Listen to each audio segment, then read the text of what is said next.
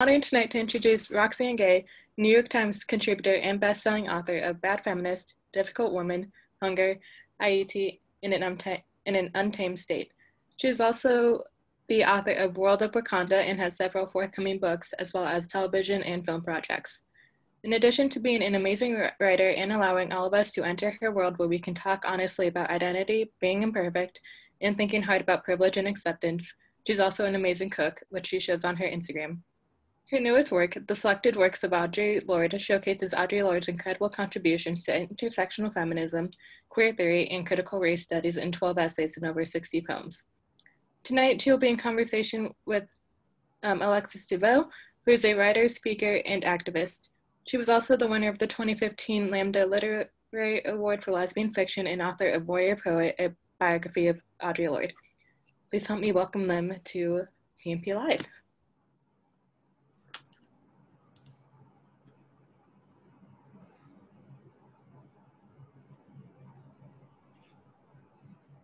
Hello. Hello. Hi. Are you at home? I am in New York. Yes. I yes. I'm at my wife's house. Wonderful. Wonderful. Where well, are you? Great to meet you. I am at home also. I'm in New Orleans. I moved here with my spouse about three and a half, going on four years now. And we have had the grace of not having a hurricane hit us yet. Yes, I saw that, which was especially now so welcome to see that the hurricane passed. I think Louisiana's had enough of hurricanes for a lifetime. Absolutely. I think um, the planet has had some serious hurricanes. So it's been Louisiana, it's been New York, it's been mm-hmm. Texas, it's been Puerto Rico. Um, you know, we have to really think about what is happening with and to the planet.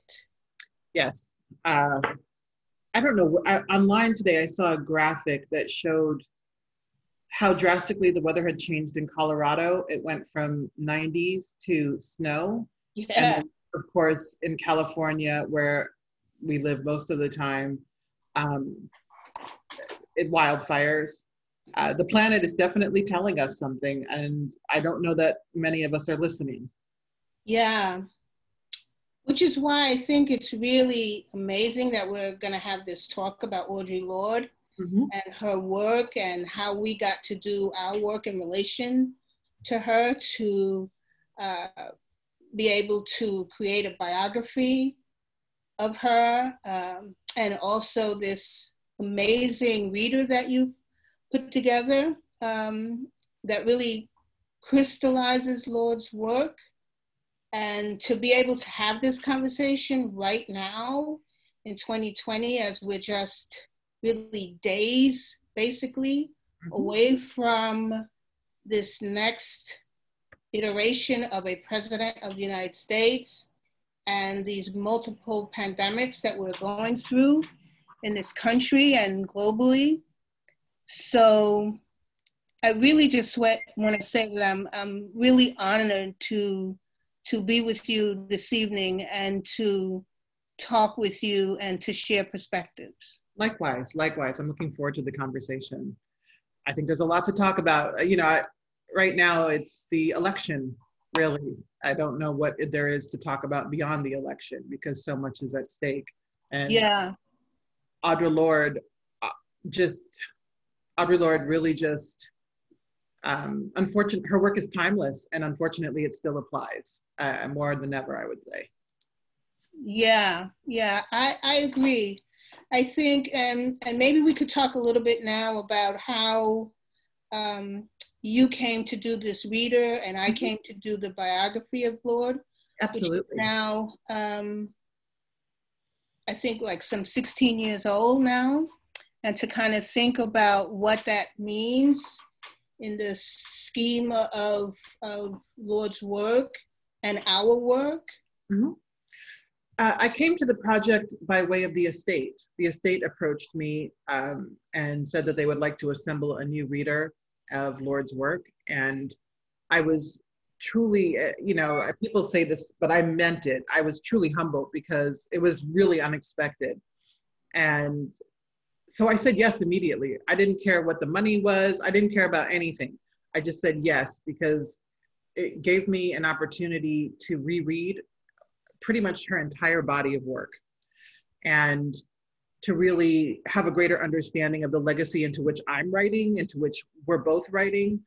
And um, so it was just an opportunity. And it was a really, you know, I think I got more out of it than the book got out of it because I had this chance to choose, sit with her work and decide, okay, when you look at a writer's entire body of work, what do you include?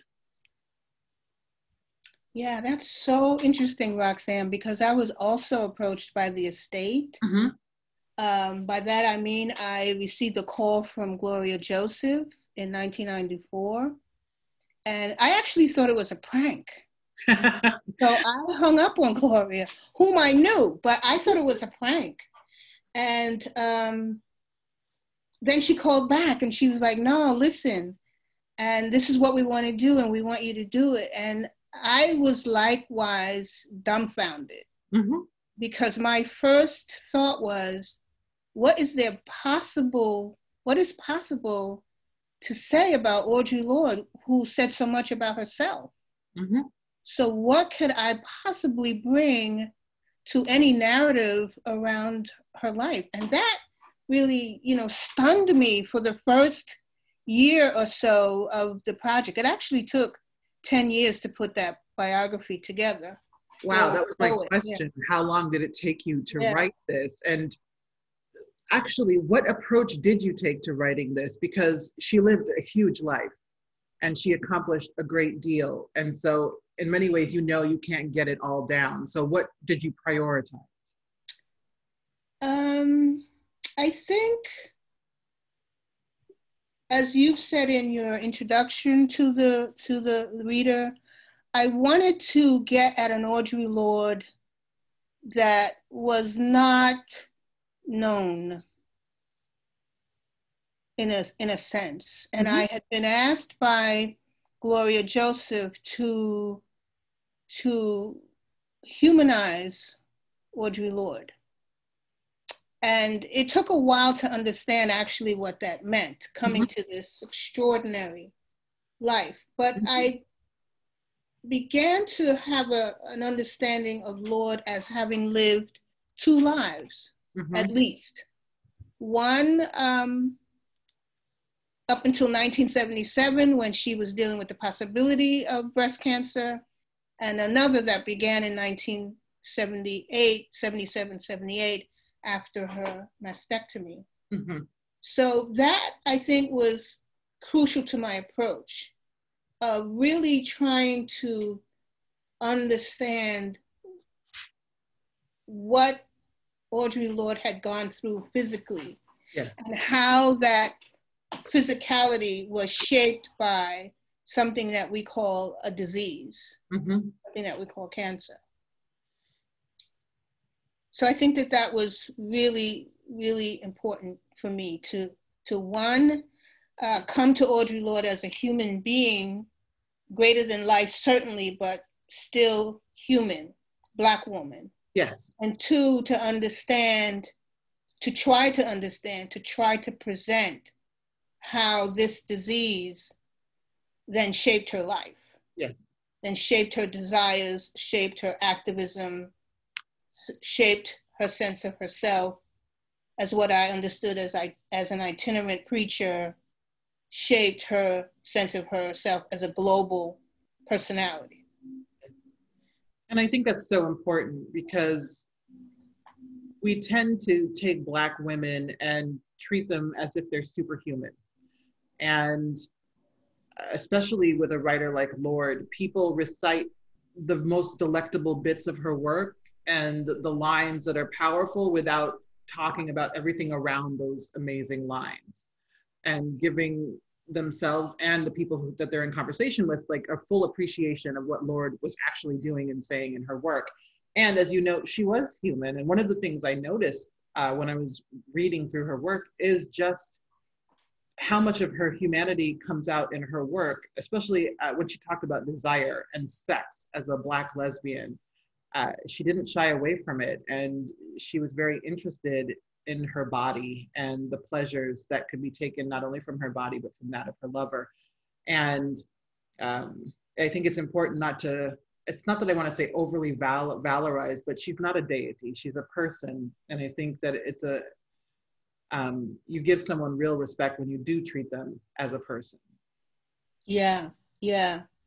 I think, um, too, the way you put the reader together makes it clear that you understand that there was a context for each one of these essays and, and the, the numbers of, of poems that you take mm-hmm. from Lorde's collections, especially those collections that might not be available anymore, like uh, From the Land Where Other People Live, Between Ourselves, The First Cities, these early works uh, that were published either by women's presses or uh, like From a Land Where Other People Live was published by Broadside Press, which was a black press um, at the time.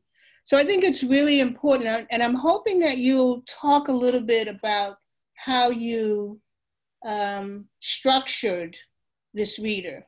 Yes. In terms of the structure, I worked with my editor at Norton. And for the prose, I knew what I wanted to do with the prose and the order I wanted, especially because it was a smaller selection. With the poetry, I just thought, how, I think I had some of the same questions you did when you sat down to write her biography. How do you capture someone's life? And for me, it was how do you capture a very significant body of work. Um, and so I thought chronology, show how she evolved as a poet and an artist uh, over the years. And so it starts with her first collection in 1968, and then it ends up with um, uh, The Marvelous Arithmetics of Distance in 1993. And uh, that was such an amazing span of time 25 years. And uh, it really worked uh, instead of trying to go thematically, um, you know, like rage, desire, mm-hmm. Black mm-hmm. womanhood. You could definitely do that, but I thought there was a more interesting arc in terms mm-hmm. of chronology. And because of what you noted, um, before cancer and after cancer, mm-hmm. you mm-hmm. also see that effect in her work. Mm-hmm. Yeah, I was thinking too, like, how the work really helps us to un- understand the 1970s and the 1980s, mm-hmm. and to some extent the 1990s, as lived experiences for Lorde and for um, her peers and for the women, especially Black women, especially Black queer women, that she was able to articulate realities around how she really in the 1970s breaks out. And th- this is, I, I, think the 70s were actually Lorde's breakout decade.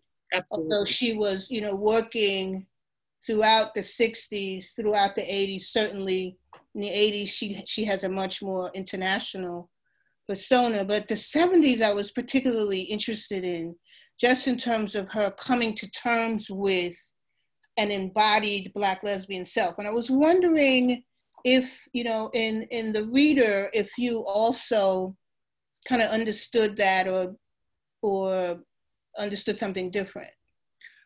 You know i think i did understand that because so much especially of her work in the 70s did speak to the black woman's condition. Yeah. And it really was the height of her work. And one of the things I really focused on in my introduction was her 1979 letter to Mary Daly.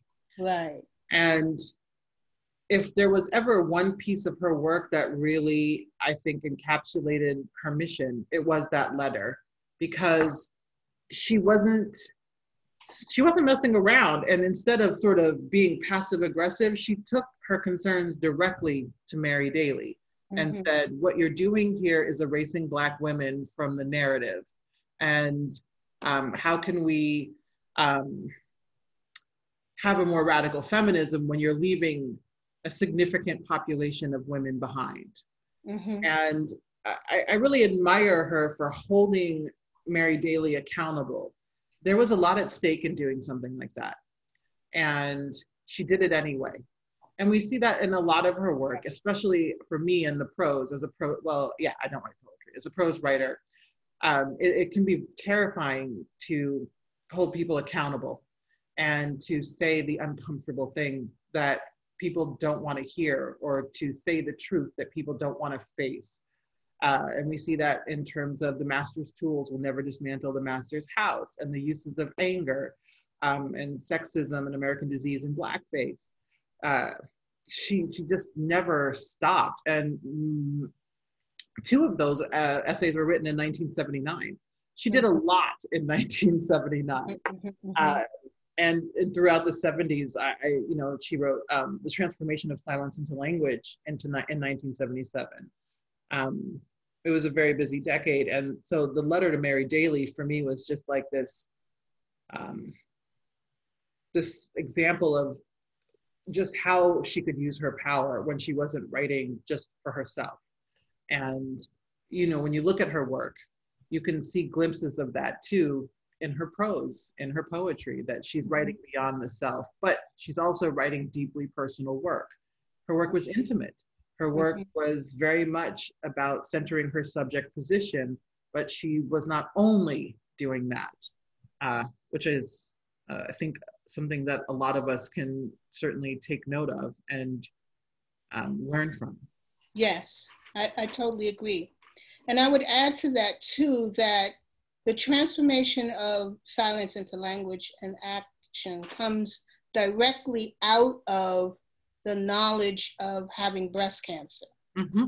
So these pieces that we can talk about now, the, the essays primarily, come out of Lorde's experiential realities. She experienced these things, she wrote about them, and theorized her body in, in relation to them. I think, too, um, just in terms of being able to speak not only for herself, but for a larger community by 1979, she was also um, a keynote speaker at the National March on Washington for Lesbian and Gays. That was the first one mm-hmm. in 1979. And at this point, she then has the floor because she is the Black lesbian voice. And she is able to stand forward and bring that voice in a way that no one else could have.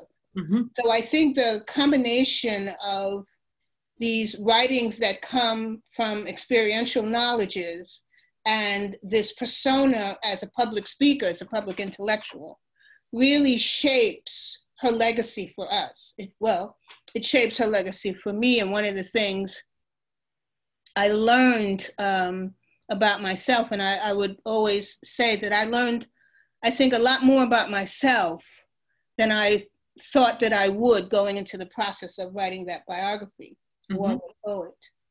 But I think one of the things I learned really is, is shaped by Lorde's gift to us of, of knowing that we have nothing to lose. Mm-hmm. We have nothing to lose. And so we have to stand forward and we have to be able to speak, as she says in her poem, Litany for Survival. It is better to speak knowing we were never meant to be here. Mm-hmm. We're never meant to survive. Mm-hmm. So when we think about this 401 years 401 years that we have been in struggle yes. in this hemisphere. When we think about that, then we know how much power we actually have. And I think that's what Lorde was addressing as well that we have power. Mm-hmm. However, we identify, we have power. And you know, you raise a good point that she demonstrated this understanding that we have nothing to lose. And I yeah. don't think enough of us realize that, that there is really nothing to lose, especially I think when you're a black queer woman. Mm-hmm. You're mm-hmm. the world is already against you in mm-hmm. every way possible. So why mm-hmm. not say something? Why mm-hmm. not do mm-hmm. something? Um, yeah, that's an that's a, a, an amazing observation. One I'm certainly going to be thinking about for some time. And we saw that too. Like um, she wrote a, a an address at um, Hunter College called "Difference in Survival." Yes. And uh, you see her poking at that idea uh, mm-hmm. in that essay. Well, it was really a talk, but it's mm-hmm. here as an essay. Uh, mm-hmm. You really see her demonstrating, you know, this is what you can do when you have nothing to lose. Yes. And I thought that, you know, we use the word empowering way too much and it has become diluted. But I do think that what she was doing was incredibly empowering because we oftentimes think we can't do anything because we have nothing, because the world sees us as nothing. Mm-hmm. And she gave us so many mm-hmm. examples mm-hmm. of how we can mm-hmm. actually work mm-hmm. against that narrative. Mm-hmm. Mm-hmm. Yes, I totally agree. And I would also add to that too that her ability to articulate a theory of difference mm-hmm. is, is something else that she left to us to understand what difference does and why difference is something that we have to address, why we cannot uh, undertake any projects around sameness mm-hmm. because sameness doesn't doesn't do the work of the human project of evolving. Mm-hmm. Sameness simply puts us in a state of of not interrogating. And one of the things she she highlights, and actually more than one of her works, is that difference is not a weakness. Difference is actually a strength. Absolutely. Absolutely. What was the most unexpected thing you learned about her life? Because you know we know we we have the person that we think we know through their work, and then when you spend a decade writing someone's biography, and you're going to learn some unexpected things. What was the most unexpected thing you found? Um, that's a good question, Roxane. I I think in in trying to to interrogate this human project or this humanizing project, I think I really had to address what became these sort of competing truths about Audre Lorde. Mm-hmm. Um, that she was both, for example, generous with other writers and also highly competitive with some of her peers. That she was um, a woman who understood her own erotics and was something of a womanizer. That she was um, deeply public and deeply private. Mm-hmm. That she um, really worked against the notion of her own erasure mm-hmm. in continuing to write and write and write and write and write and that she did something, to paraphrase Toni Cade Bambara, mm-hmm. she was her own Black. Yeah. She was her own Black. She was not somebody else's version of Black. And she struggled to articulate that and to press that notion of herself forward. And by struggle, I mean, you know, similar to, to what you're saying was the the Mary the Mary Daly letter to to really stand up in in ways that meant that she was also going to suffer. Mm-hmm. And I mean, there's a whole whole lot we can say about her, Mary Daly, but and I do that in the biography. So, but the point that I want to really address is this idea of Lorde's life and work positioning what we now call intersectionality. Yes. And that um, when we look to those who have come before us, we have to, especially Black women writers, whom we don't tend to think of as theorizing if they are not working in a particular academic way. Mm-hmm.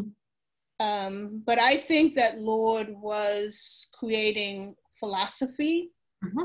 as well as, as theory, uh, both in the prose and the poetry. And that's why the reader is such a smart volume because it will, it brings together uh, what you've called a life work and it also gives readers, new readers, old readers, an opportunity to track the ways in which Lorde made philosophy or philosophized, and the ways in which she theorized being Black, feminist, lesbian, mother, poet, warrior. Mm-hmm. You, um, you touch on something that I think is so important when we talk about the work of Black women and Black women public intellectuals, which is that the work is scholarship and that mm-hmm. she does contribute to a you know to a, a history of intellectualism that generally tries to keep black women out yes. and does not honor yes. their work as intellectual yes. um, sees it as you know personal and raw uh, which people think is a compliment but not really. And um, to see that her work is at least in some institutions being considered and and treated as theory and philosophy is incredibly important. It's yes. just incredibly incredibly important. Yes. Yes. Is that what you want um, is that how you want the reader to be viewed you know that's a good question and the answer is yes and no yes because i believe that she belongs in that echelon of public thinking.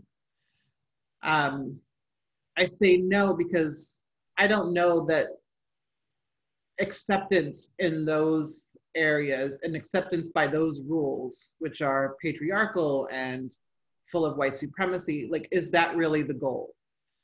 And so, on the one hand, yes, she belongs there, but are they worthy of her? And like, is it respectability politics when we contort ourselves to be accepted by intellectuals um, who would otherwise look down on our work. So I, I struggle there. I do. But at the mm-hmm. same time, I'm mm-hmm. like, you, you damn mm-hmm. well better consider that her there. But I want her to be seen both as a theorist and also just as an incredible writer because, quite frankly, academic writing on the whole is terrible. It is boring and dry. And um, frankly, it doesn't say much of anything. Her work is not that. And so uh, it is definitely meant for a broader audience than just academic academia. But I do hope it's adopted in classes because mm-hmm. I think that there's plenty for students to get from that from the book. Okay, I, I think though those are good points. I think it's also important that I kind of break open that language a little bit because when I talk about philosophy and when I talk about theory, I am not talking about patriarchal notions of philosophy Good. and patriarchal yeah. notions of theory. I am talking about the work that Black women do. Mm-hmm. As you know, Barbara Christian said in the 1980s in her piece, The Race for Theory, Black people do theorize. That's oh, what we do. You know, we do that in everything we do, everything we write, um, the ways in which we speak, the ways in which we dress. So I think that there are um, ways in which we practice notions of uh, what can be called philosophy, mm-hmm. and practice notions of theorizing that exist as an otherwise what what um, uh, Ashon Crawley calls an otherwise possibility mm-hmm. as an alternative uh, to these these more patriarchal systems of thought and systems of, of, of knowledge. So, and I think it's important to, to note that we do have alternative realities. Black mm-hmm. people, as, as, as I understand us, we do live in, a, in an alternate reality in this society. We always have because we have been uh, identified as Black, and we have always um, had to construct our own epistemologies. Yeah, I agree. Um, and I think that's a useful breaking open. Uh, it's important not to make the assumption that you're talking about the patriarchal. And I think that's just how inculcated we are in the certain schools of thinking that we think, ah, that's what we're talking about. When no, we're talking yeah. about a whole separate thing. Yeah. Yeah, we're talking about Audre Lorde. Yeah. yeah. So um, tell me, um, because we talked about how long it took me to do the biography warrior poet. How long did you work on this project of the selected works? I think at least a year and a half. Mm-hmm. Uh, at least a year and a half. And mm-hmm. once I made the selections, things moved quickly. Uh-huh. But it uh-huh. took a long time for me to make the selections. It took at least a year to, uh-huh. because I wanted to be thorough. And mm-hmm. I, I, like many people, I'm overcommitted and have too much going on but I mm-hmm. didn't want to half-ass this, and so mm-hmm. I took mm-hmm. the time I needed. And fortunately, Norton was really good about mm-hmm. not pressuring me, and mm-hmm. um, they made all of the work available to me, uh, was great. So I didn't have to like go hunting it down. They had yeah. it ready to yeah. go. Um, and so yeah, it took a year, and I started with the prose because that was um, the work of hers with which I was most familiar. So mm-hmm. I, it was great to just revisit it. And so much of it was connecting to a project I'm currently working on that it ended up being, like I said at the beginning, just so much more useful to me than I think I was to the project. Mm-hmm. I got so much out of it. And mm-hmm. then I read through her poetry, some of which I had read before, but mm-hmm. certainly not to this extent, mm-hmm. especially some of her earlier poetry and yeah. her later poetry. I think, like many people, I read most of the stuff that she had generated in the 70s and 80s. Mm-hmm, mm-hmm. And so I just stayed with the poems, and I love reading poetry. It's a kind of like a break from the world. And mm-hmm. so I would just read, you know, a handful of poems and then like really think about them. And I would make notes to myself as to which ones stood out to me, uh, which ones I, I might want to include. And just little, very brief notes to myself as to why, so that when I was done, I could go back to the beginning and remember like what I was thinking at the beginning. Mm-hmm. Uh, mm-hmm. so it was actually a lot of fun. So can you talk a little bit about, because um, you talked about making the prose selections and the reader is, is um, structured so that we get the 12 or so essays that are the prose Yes. And then we get the selections from her multiple uh, collections of, of, of, of poetry. Mm-hmm. Can you talk about that a little bit? Because one of the things I noticed was you didn't break up the po- prose into Zami and mm-hmm. Sister Outsider and the Cancer Journals. No. For example. Yes. With the prose, I just wanted to sort of tell a story with a beginning and an end. And mm-hmm. I love poetry is not a luxury. Mm-hmm. I think mm-hmm. the work of hers that I'm most familiar with, I think it's one of the most important ones because again, it's like making herself known, identifying the kind of black she is, and making clear that mm-hmm. poetry is not something that's frivolous. It's not something that mm-hmm. we need to make special space for. It's a necessity. And mm-hmm. because so much of the work is poems, I thought it was really important to start out with let's make clear what we're talking about when we're talking about poetry that poetry is a tool for change mm-hmm, and that mm-hmm. poetry is radical and necessary. Mm-hmm. And um, then how do you build on that? I think a lot of times as writers, we know what to do to bring attention to a problem. We know mm-hmm. what to do to get you to care, but what do you do next? And mm-hmm. so the transformation of silence into language and action felt like the next logical place to go because if poetry is this tool for change, what do you do next? And I love that she took some time in her work to to say like this is what action might look like. Mm-hmm. And then it goes into some personal work with my mother's mortar and the uses mm-hmm. of the mm-hmm. erotic mm-hmm. and the uses of the erotic. Again, it's like poetry is not a luxury. That the erotic is not frivolous. The erotic is not this thing that we should not take seriously. And um, so I wanted to include that because I believe we have to take it seriously. And then with the master's tools, we'll never dismantle the master's house. It's sort of mm-hmm. getting to the middle of what I see as the narrative. And that is whether, no matter how people have misinterpreted it over the years, that is one of her most well known works.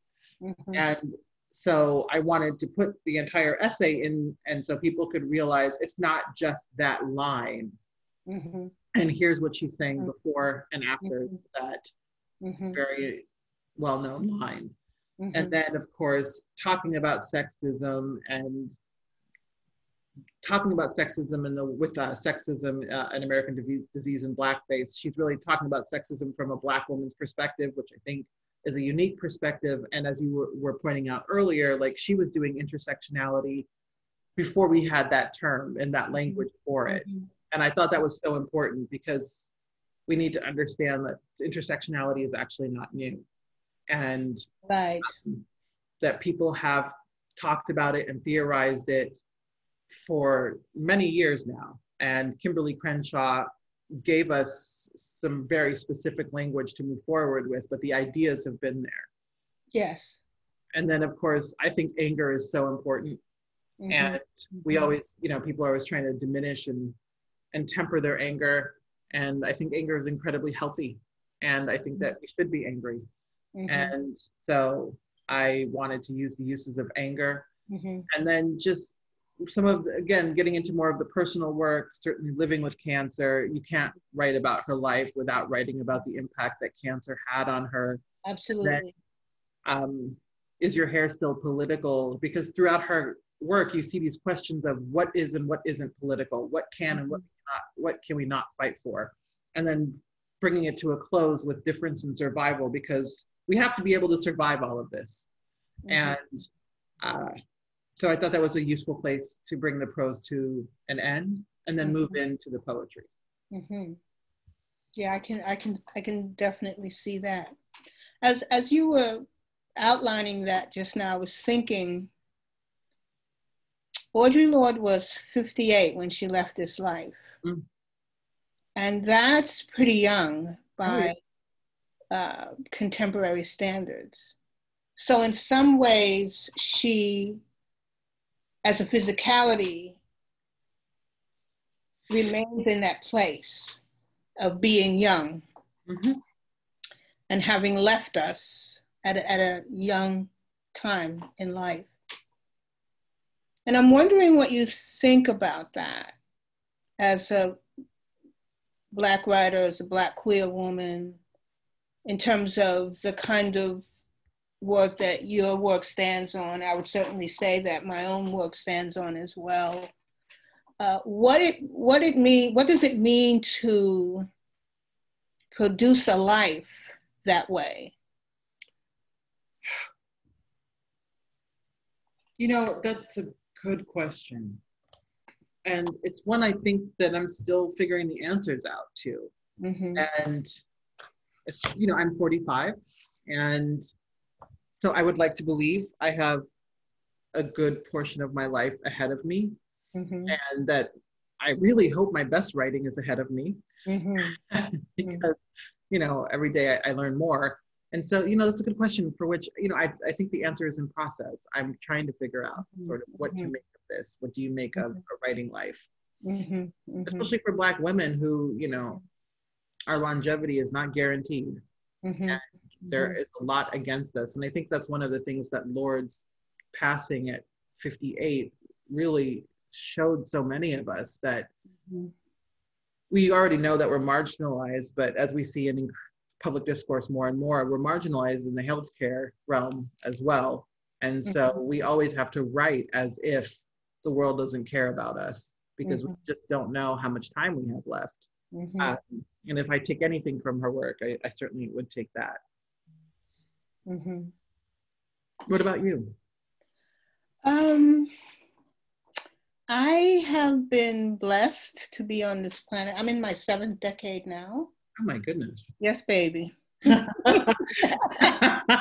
what's up. Yes, yeah, I'm blessed. So I feel like longevity um, has been a gift to me. Mm-hmm. Uh, one that I um, cherish. I think I started cherishing in my 50s actually. And um, some good friends of mine, uh, good mentors, good mother figures who are writers have also left. Mm. June Jordan, Toni Cade Bambara, uh, James Baldwin, uh, Toni Morrison, uh, Jayne Cortez. These, these are all uh, writers who grew me up Mm-hmm. And so I feel like I um, I, I am not carrying them. I feel like they're with me. They're yeah. they're actually carrying me. Basically, they're carrying me forward.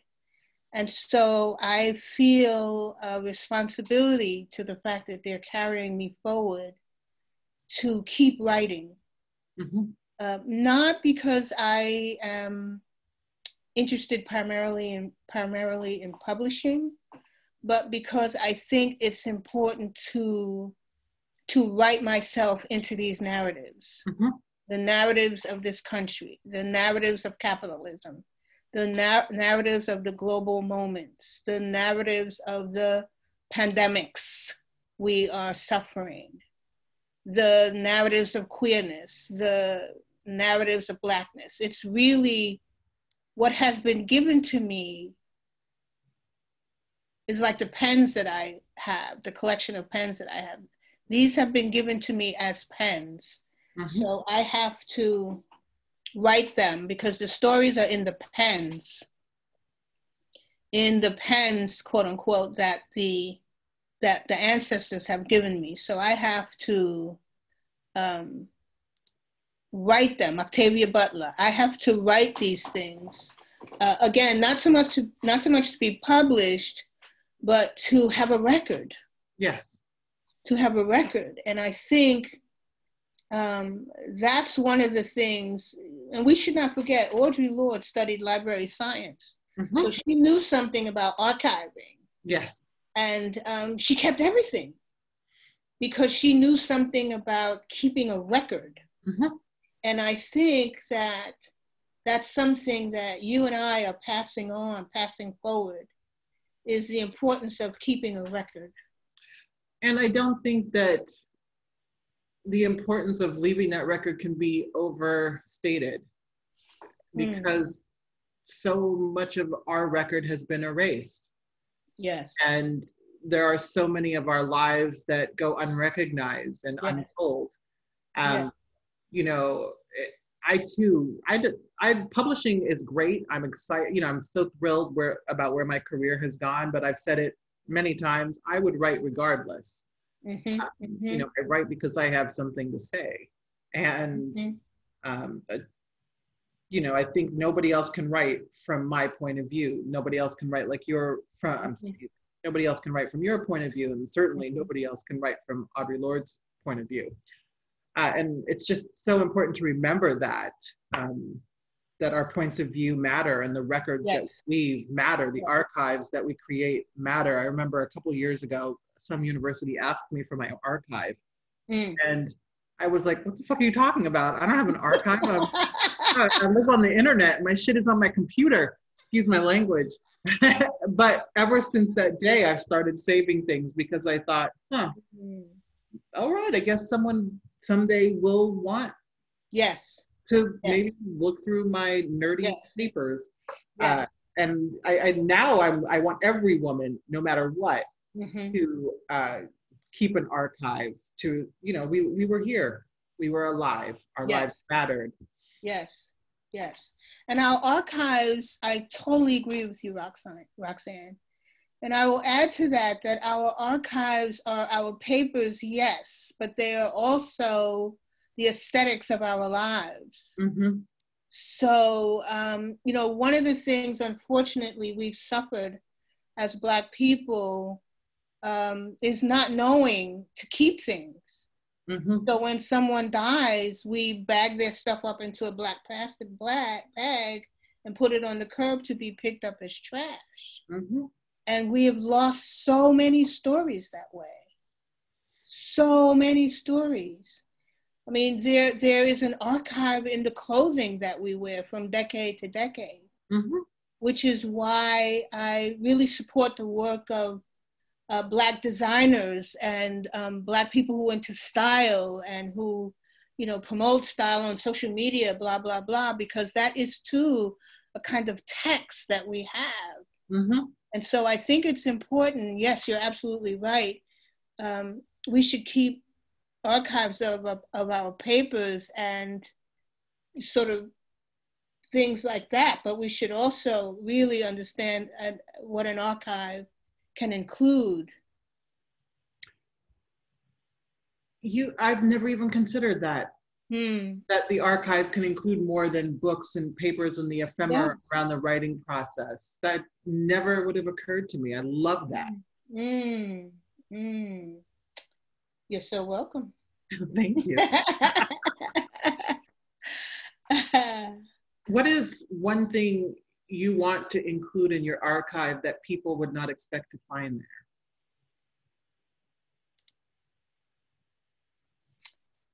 Uh, I think I would want to include my pens and my ink bottles mm. because I write by hand. I write with fountain pen and I use notebooks. I use those black and white composition notebooks. So, and I love pens. I love pens. I love ink on my hands. Mm-hmm. I love to get up from my table and discover that the ink is actually all over my fingers. It's not wasn't just in my pen. So I think I would like to leave my pens and my ink because I think so many of us have moved on to the computer mm-hmm. as the writing tool. Mm-hmm. And that's okay for those of us who do that. Um, but I think someone is going to come to my archive um, after I'm gone and say, "Oh my God, look at these pens! Mm-hmm. Look at these, look at these, you know, instruments! Look at these old school things!" And so, um, and I would want to say, by by having my pens in my archive, that writing is a visceral experience. Mm-hmm. I would want to say that it came out of my body that way because I had to use my my good left hand and and my pens in order to to bring those stories forward. Mm-hmm. Excellent. I can't believe you write by hand. Ugh. Yes. I, I, admire it. I can't do Thank it. You. Well, you know what? I can't write by computer. Yeah, you know, I think it. I think you find the thing that works for you. Absolutely. Um, yeah, um, I try to take notes sometimes by hand because mm-hmm. it's actually easier for me to read handwritten notes and have a notebook next to me than mm-hmm. to open up like separate files and yeah and all that. But yeah, writing is such that I have yeah. to type it out. Yeah. I don't know if you've had a chance to to go to Spelman and, and to visit the Lorde Archives there. Not yet. But when you do, not if you do, when you do, you'll see her notebooks and you'll see Lorde's handwriting. Mm-hmm. And I think that that is a wonderful experience. I was just, um, I was actually privileged to go through that material mm-hmm. while I was doing the biography and before it was open to the public. And I was amazed by the experience of actually seeing this poet's handwriting. Amazing. Yeah, and I think that that is an art form, being able to write by hand, mm-hmm. um, and also a way of of being that in after this time, I don't want to just say the future, but after this time, will probably exist less and less mm-hmm. as we we humans develop these technologies, um, and, and computers are only the beginning, I think. Mm-hmm. Um, oh, we have a lot of questions. Okay. So let us see. Um, I'm curious if you both have memories of the first time you read Audre Lorde, or I keep doing that, Audre Lorde. Where were you? How did you feel, etc. Huh. That's hard for me to answer because I steeped myself in Lorde in, in writing that biography for those 10 years. So, I mean, the first time I heard her work, I heard her read it as a poet. Um, we, there were, I had opportunities in which we were on the same program. So I got to hear Miss Lorde read her poetry. And that was my first experience with her work was hearing her read.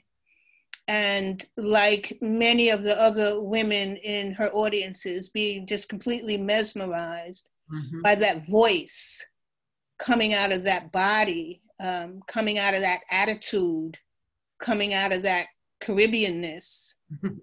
um, so yeah, so hearing her read was my first experience with her work.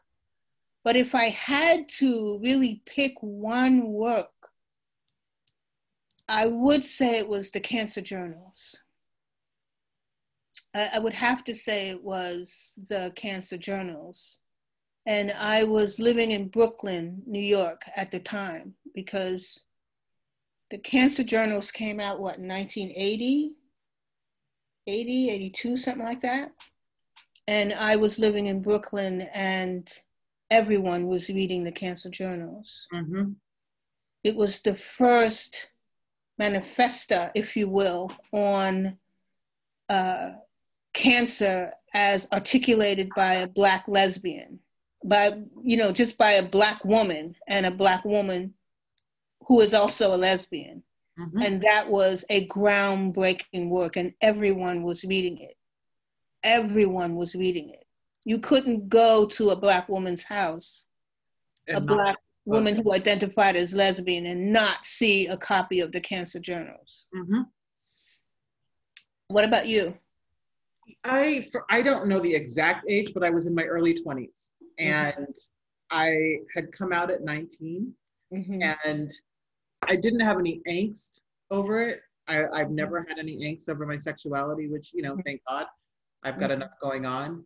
But she was one of the first, if not the first writer I ever read who was not only a Black woman, because I had read Toni Morrison, Alice Walker mm-hmm. at the point, mm-hmm. but I had never read a Black queer woman or a, a Black queer woman who was out. And to read her being so unapologetically Black and lesbian, Mm-hmm. I was just like, oh, I, there is a space in this world for me and my voice. Mm-hmm. And um, it was just, I can't begin to express how impactful it was. Mm-hmm. Uh, mm-hmm. you know, we, we talk about how representation matters, mm-hmm. and it really, really does. It mm-hmm. really does. Mm-hmm. And to be able to have that um, meant so very much to me. And it still does. I, I just mm-hmm. think what she did was such an amazing gift, and she didn't even know she was giving it to most of us. Mm-hmm. Uh, yeah, I feel that way about Zami too. Yes. Yeah. And I, that was one of the first things of hers I ever read, and yeah. I love that um, she reinvented language because language could not accommodate what she wanted to mm-hmm. do, what she wanted to call her book, and so Absolutely. she was like, you know what, I will make my own terms here. Right. And that I mean that's baller. That is yeah. just baller. Yeah. Yeah. For for me, that book um, is a masterwork. Mm-hmm. It's just one of Lorde's masterpieces, and I, I, think she has a few others. But that one um, really situated Lorde for me in the category of genius, mm-hmm. Black genius, actually. Mm-hmm. The way we think about Black genius, because it really, as you pointed out, she creates language. And she also cre- creates this narrative that had not existed in terms of um, a good ending for a Black lesbian. Mm-hmm you know, it wasn't um, fraught with uh, notions of suicide, etc., mm-hmm. that were more prevalent in the lesbian narratives before the 1980s, before Lorde, before the 1970s. Those narratives that came out of the 40s and 50s, for example, that were shaped by closets and angst, to use your term, and violence and and here is Lorde creating this lush reality in Zami that's simply amazing. Let's see. Um, Are we any other questions? We have many other questions. Okay. Uh, Are we going to have time? Oh, oh, we're out of time. well, then, this has been an honor and an amazing opportunity to be able to talk about Audre Lorde's work. Um, yeah, that's all I have to say. It's just been amazing. I am so happy to have had this opportunity, Roxane, to get to see you in person, to listen to you, to to share notes on this remarkable ancestor of ours now, mm-hmm. and to be present in this 2020 moment as as we go forward. Thank you, and and thank you for your work on Audre Lorde, and um, stay in it, baby. Uh, you too. You too. All right. All right. Have a great okay. evening. You too. Bye-bye. Bye.